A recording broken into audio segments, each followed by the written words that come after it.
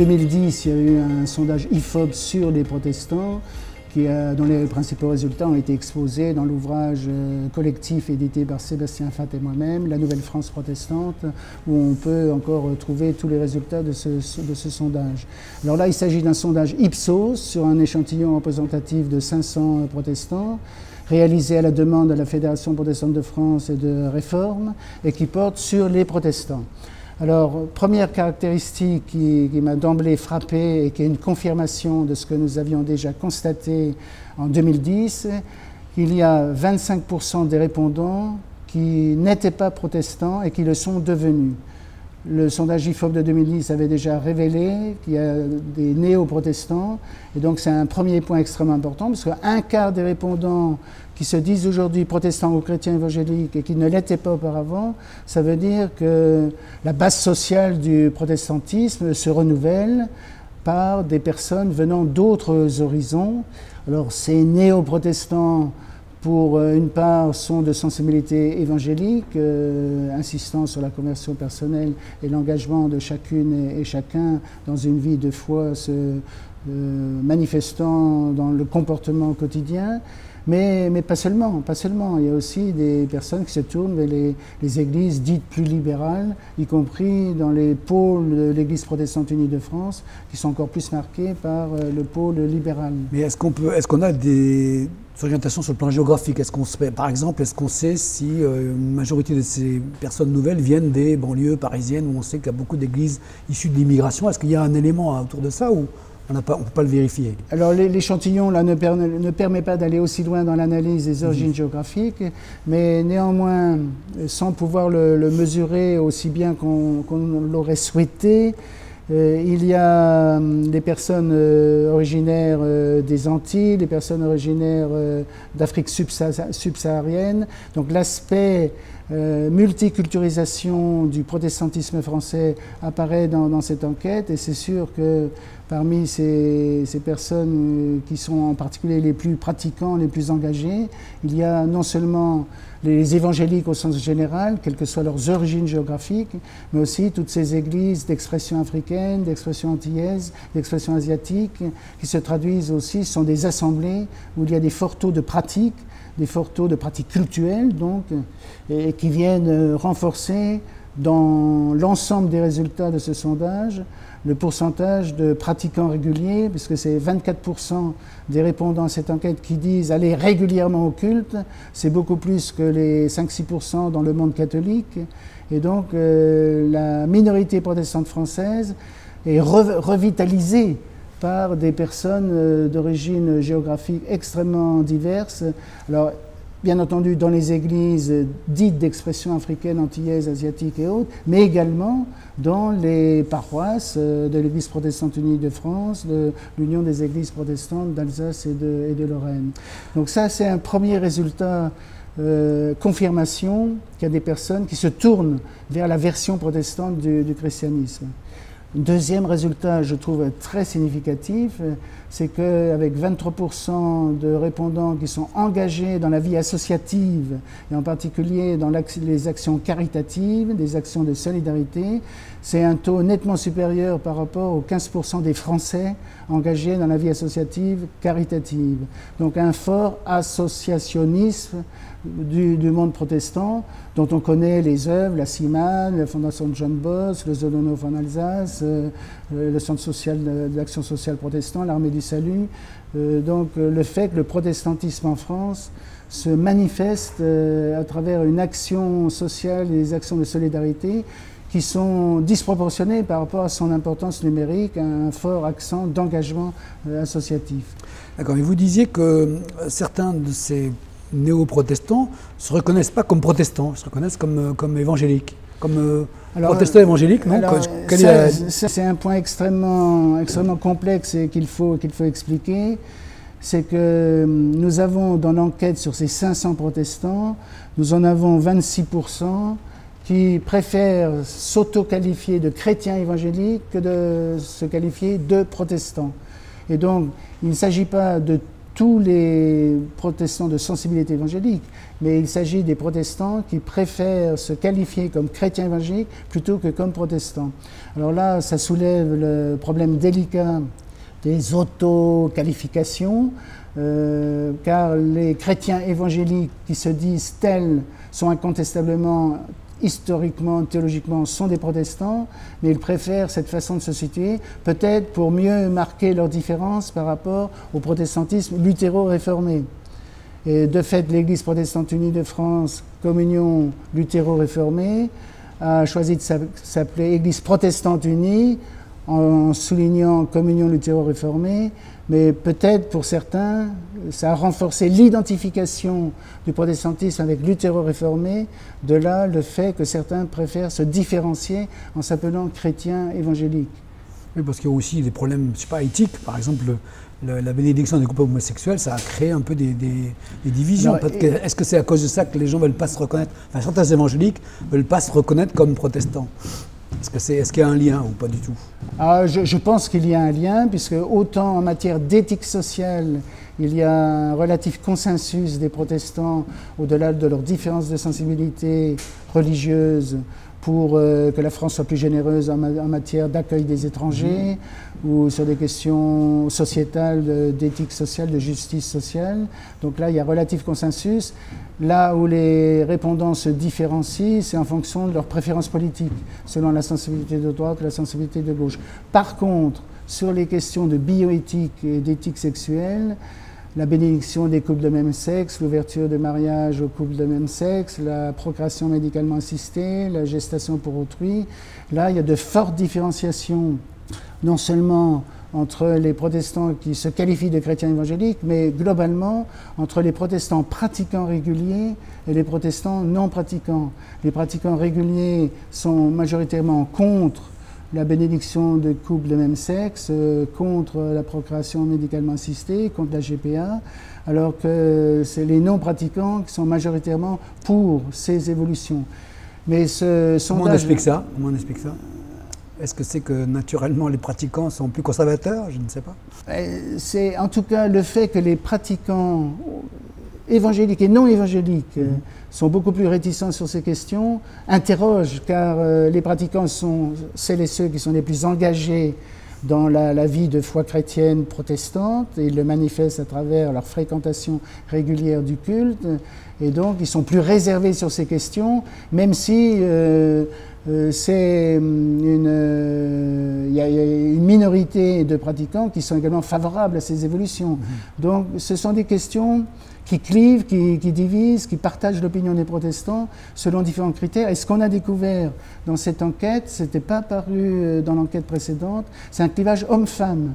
Les femmes sont beaucoup plus favorables à ces évolutions dans tous les domaines, bénédiction de couple de même sexe, PMA, GPA, les, femmes sont nettement, les femmes protestantes sont nettement plus favorables à ces évolutions que les hommes protestants.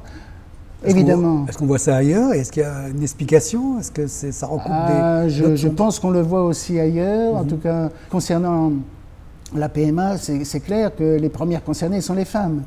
Et donc il y a une sensibilité là euh, qui, qui, apparaît très, très nettement. Par exemple, pour euh, la PMA, 59% des femmes sont favorables, 35% des hommes.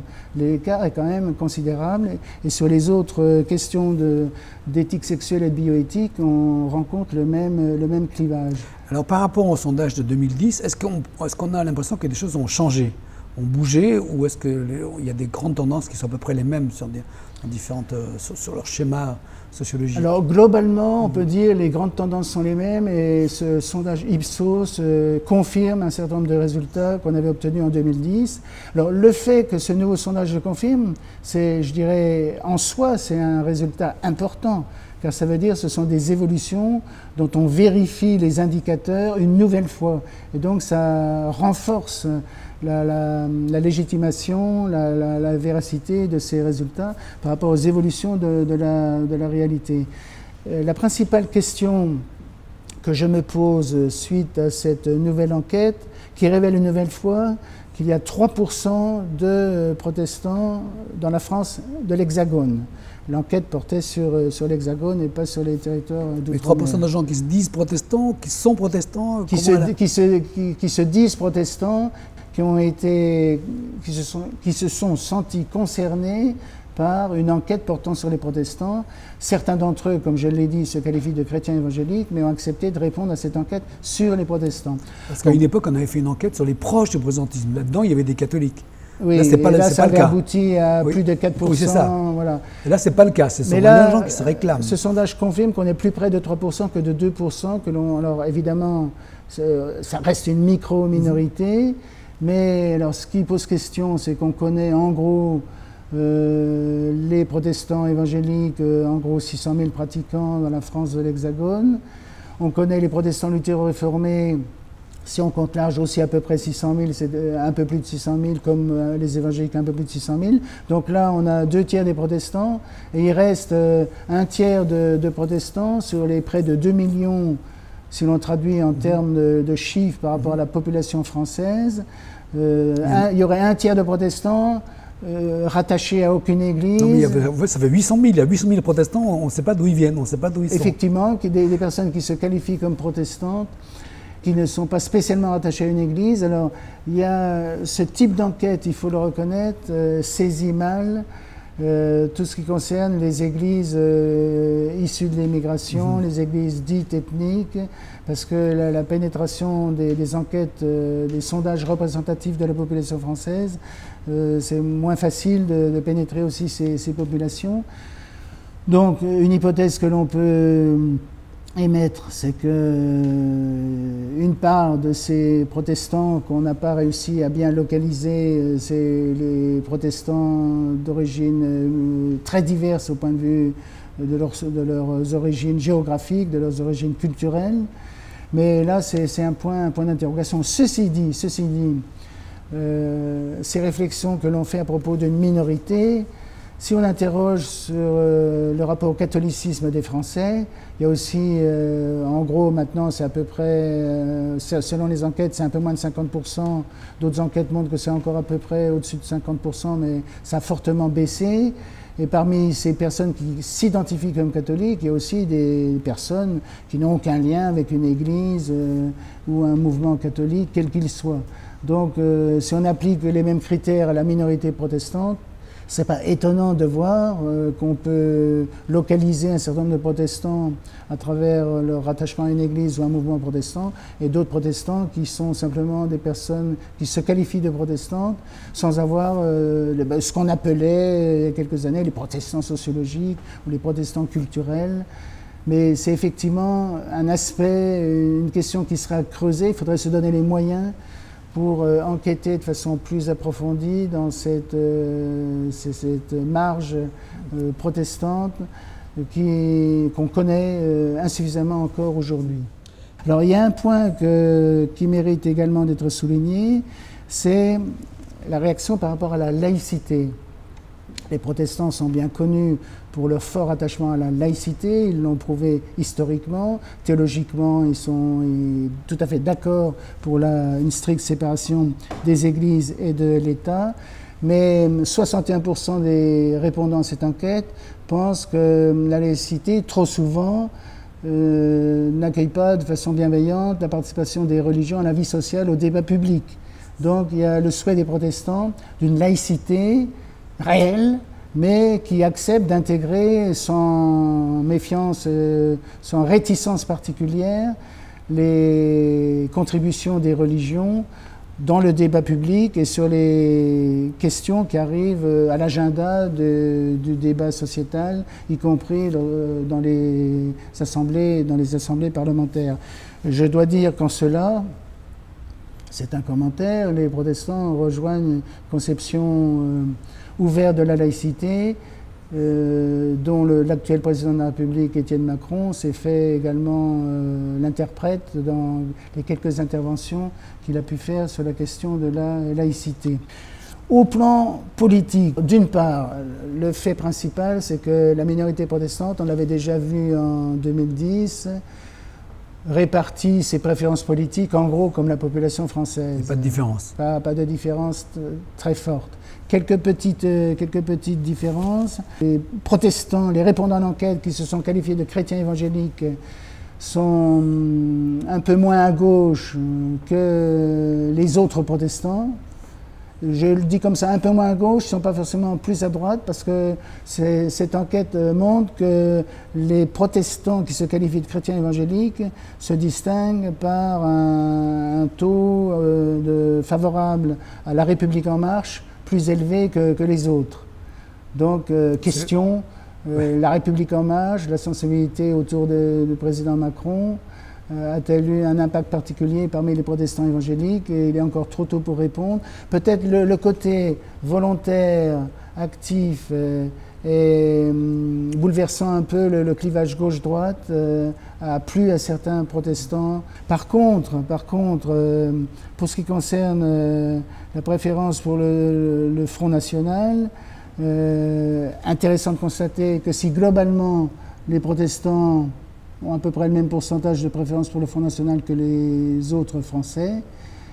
Les pratiquants réguliers ont euh, moins de proximité partisane avec le Front National que les, que les non-pratiquants. Là aussi, il y a un effet propre de l'engagement religieux fort au niveau de la, de la pratique et de l'insertion dans une vie d'église. Ça, c'est nouveau parce qu'enfin, il y a à l'époque, il me semble qu'il y avait très peu de protestants qui adhéraient au thèse du Front National. C'est oui. qui amenait autant que la population française, c'est une évolution quand même.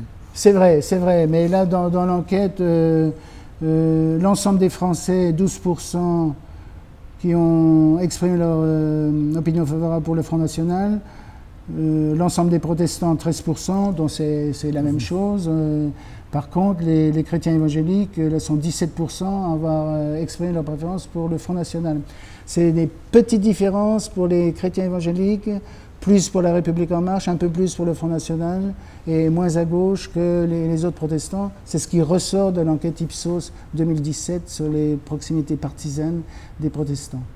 Donc, au niveau de la pratique, oui. Est-ce qu'il y a des différences aujourd'hui par rapport à hier? Cette enquête Ipsos 2017 euh, révèle qu'il y a un taux important de protestants qui pratiquent régulièrement, c'est-à-dire qui vont régulièrement au culte, selon même un, critère assez strict de la pratique régulière, à savoir au moins une fois par semaine, ce qui est assez considérable. L'enquête révèle que c'est le cas de 24% des répondants. Si je compare avec le taux de pratique régulière dans le monde catholique, c'est 5%, donc euh, c'est une différence absolument énorme. Et Chose extrêmement intéressante, euh, les plus jeunes, les moins de 35 ans, pratiquent plus que les aînés, les plus de 35 ans et les plus de 60 ans. C'est le 32% de pratiquants réguliers chez les moins de 35 ans, 21% euh, chez les 35-64 ans et 21% chez les 65 ans et plus. Vous voyez, il y a un écart assez important et c'est une inversion de ce que l'on constatait dans les enquêtes de sociologie religieuse dans les années 60-70. Dans ces enquêtes, on constatait que euh, plus on est jeune, moins on pratique. Mmh. C'était un petit peu euh, le constat. Euh, les églises ne sont plus adaptées aux jeunes, il y a une évolution selon les générations. cette enquête révèle au contraire un regain de pratique chez les jeunes, jeunes adultes, et euh, euh, une différence assez, nette par rapport aux personnes les plus âgées. C'est un résultat assez, assez étonnant. Alors je pense qu'il s'explique euh, par le fait, alors la dimension évangélique, ça, ça me paraît incontestable. Mais pas seulement la dimension évangélique, euh, ça s'explique de façon plus globale pour une minorité religieuse. C'est encore plus. Euh, le fait religieux devient minoritaire dans une société globale qui n'est plus attestataire du religieux. Donc le fait religieux, pratiquer régulièrement un culte, c'est un non-conformisme. Aller régulièrement à un office religieux, c'est un non-conformisme. La majorité des Français ne le font pas. Et donc, euh, du coup, l'identification à une religion et devient plus conséquente. Euh, c'est le passage de la religion par héritage à la religion par choix. Si dans, dans, cet environnement séculier, qui est plutôt testataire de la non-religion que de la religion, on continue à s'identifier comme religieux, on est plus amené à pratiquer peu ou prou qu'auparavant. Donc c'est les conditions sociétales qui transforment le, fait religieux en un fait plus volontaire. Et j'ai même parlé, même si le terme n'est pas très élégant, d'une évangélicalisation du christianisme, au sens évangélical, euh, évangélique en anglais, euh, car c'est plus un, christianisme de choix, un christianisme qui se traduit plus par des pratiques et des engagements, car euh, si on fait ce choix, c'est un non-conformisme dans une société globale qui n'est plus attestataire de la pratique religieuse. En ce sens, on peut parler d'une évangélicalisation du christianisme dans le monde protestant et dans le monde catholique également.